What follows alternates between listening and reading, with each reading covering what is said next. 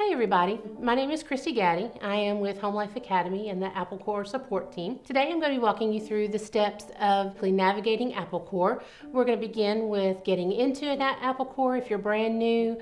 We're going to show you how to set up your education plan and everything that's needed for that. And then we're going to take you through getting those grades in since it's almost time for reporting grades. So let's jump right in. First of all, what you're going to do is you're going to go to your homelifeacademy.com and it's going to look like this. You're going to go to the top right hand corner, My HLA Member Login. Click that, and it's going to take you to your login page that looks like this. And then you'll simply just click Login, and you'll be on your family home page.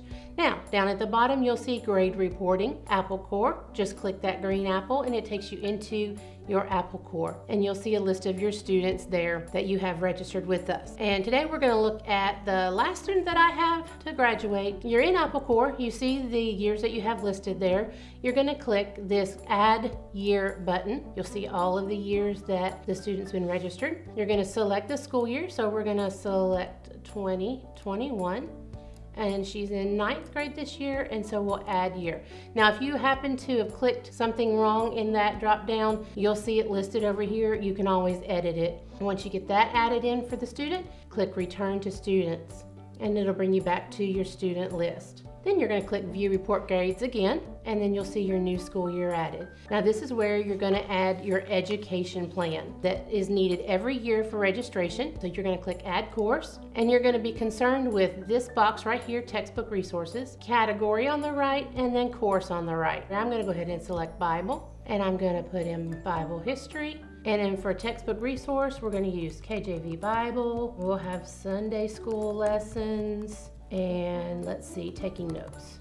And then we'll go down and we'll click add course. This little box pops up and it says your course has been saved and it's asking you if you want to add another course to this school year. And you're going to click yes. And the next one, now for every student they have to have a math and language arts so we're going to go ahead and click English here. Should be in English 9 and we're going to use, I think it's McGraw-Hill is the title. And then we're going to click add course. We'll add another one. We are gonna add math, so we are gonna use Saxon she's actually doing pre-algebra, so we'll put that in. We do have a tutorial class, I think her physical science, so we'll just put the name of that tutorial in here. That's all you need. You can put the teacher's name if you'd like. We're going to add her science and physical science. Now, if there is a course that you don't see listed, uh, we have world history as an option, but maybe you're doing world history and geography combined. What you'll do is you'll click this can't find course button. This little box pops up. Just type your name, world history and geography, and then you'll add course after you put your resources in. We've got all of our courses listed. We're gonna go ahead and click no, and then you'll see everything listed here. If by some chance that during the middle of the year you have changed curriculums, you found something different that works, all you have to do is click edit semester, click your course info tab, and you can change that there, and then click save.